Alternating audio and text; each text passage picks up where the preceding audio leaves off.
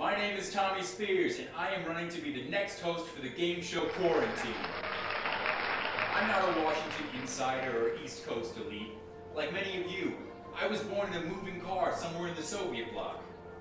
When I came to this country with my parents, I had nothing but the clothes on my back and the passport of a dead American named Tommy Spears.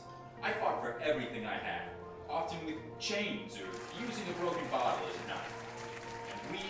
have achieved the American dream my mother had when her medication gave her those nightmares about Uncle Sam. If elected, I promise I will continue to fight for and often with you. Thank you.